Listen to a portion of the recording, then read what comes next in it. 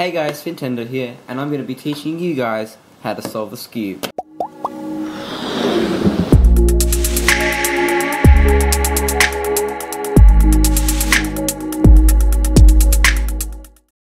Here we go. Alright, so first step is you're going to want to scramble your cube up. Alright, so first thing we're going to do is I'm going to teach you notation. So, this whole piece here, so when holding the cube like, cube, not the cube, the pyraminx like this, this turning like that, like that, up is right, turning it down this way is left, turning it this way, so left, and on the very top one is up, and then the opposite of that, so down on the right one is right inverted, up on the left side is left inverted, and right on the up one, on the up face, is up inverted. You, there is a back one, but we don't need to learn, learn that for this method. Alright, so the first thing you're going to want to do is you're going to look around the pyraminx and you're going to find every single tip that has yellow on it. So this one has yellow on it, this one has yellow on it, but and this one has yellow on it. So you rotate them all to face the same way. So now all the tips are facing the right way, and you can also rotate this one. So now all of the tips are solved. So they all match up, and every single side has its tips for its respective colour. Alright, so now what you're going to do is because we know all these are right, what you do is you rotate these faces until you, so you see that's there, so you rotate this and then you see you've got one of the centerpieces and then just move the tip back to solve it. And then you can so you go to this side, and you rotate it that way, okay there's still none, rotate it one more time, there it is. And then you just move the tip back to make it solved. And then once again, not there, there it is, and then you can move the tip.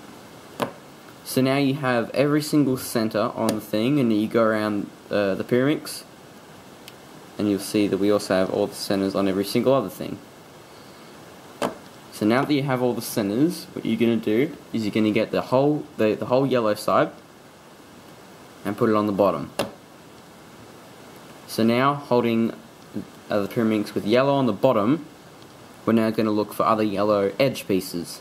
So we look around, here's one here, so it's yellow and blue. So if this was here for instance, and we saw yellow and blue, what you want to do is you want to get the yellow either like not facing you. So for instance for this side it's yellow and blue so we can't rotate it here because then the blue and the yellow doesn't match up with red. So what we do is we rotate the up face this way to make the blue match up and also have the yellow not facing us. So now here's your first algorithm you're going to learn. So it goes like this. Right, up inverted, right inverted. So base, essentially what you just did there is you're moving this up, getting this edge piece, moving it across into place, and then down. So now one of the edge pieces is correctly orientated because it matches up with blue. So now what we're going to do is we're going to find another yellow one. So there's one here, and it's green and yellow. So you're going to rotate it once again till it's at green. So now it's on the other side, so you're going to learn a different algorithm. So with the yellow not facing you, so the green sticker facing you and the, and the yellow sticker on either side, or if, if it's on the right side, this is what you do. So it goes like this. Left inverted, up, left. So now we see that's correctly orientated as well. So now just the red to go. So the red is here. Now if this happens, we can't actually orientate this correctly. So what you're going to want to do is just move it out of the way. So, so as you can see here, that doesn't match, but the red is here. So what you're going to want to do here is basically what you're going to do is you see red's here and yellow's there. You need to switch them, but you can't switch them. So what you're going to do is you're going to move it out of the way. So move this up, out of the way, and then down. So now you see we have it out of there, and now it's up here. So it's red and yellow, so what we need to do is we need to make it so yellow doesn't face us. So we move it this way to face the right. And once again, you go left inverted, up, left. So there we go, now the, the yellow face is completely done, all the centerpieces are correctly orientated.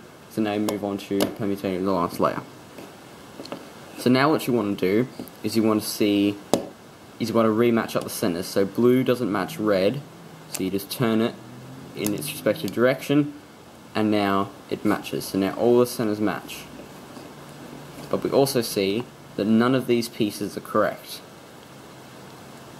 So what you're going to do is you're going to hold it any way you like, and you're going to go right, up, right inverted, up, right, up, right inverted. So now we've done that algorithm and they're still not correct, so you do it again. Right, up, right inverted, up, right, up, right inverted. So now we see that one of these edge pieces is correct, but these two aren't. So now this is the last algorithm I'm going to get you guys to learn, and it goes like this. Left, right inverted, left inverted, right, up inverted, right, up, right. And now you see the Pyraminx is completely solved. So thank you guys for watching the first Fintendo Cubes. Hopefully you enjoyed this, and I, if you did, I will do a few more. I might cover 3x3 beginner's method next, I might do Skewb, I might do like tips and tricks, who knows, who knows. Alright, so thanks for watching, and I'll see you guys soon for probably a stream on this, this weekend.